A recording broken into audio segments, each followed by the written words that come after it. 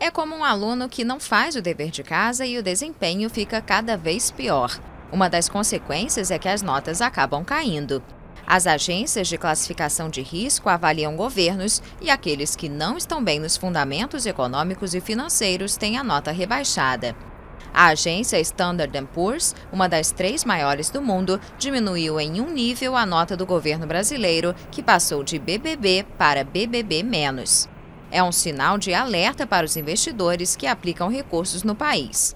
No caso do Brasil, a Standard Poor's justificou o rebaixamento apontando sinais pouco claros da política econômica do governo da presidente Dilma Rousseff. Segundo a empresa, o país apresenta um frágil quadro fiscal e desaceleração do crescimento.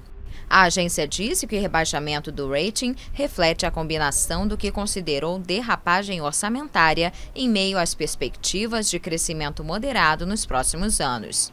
Aliado a isso, existe baixo volume de investimentos e enfraquecimento das contas externas.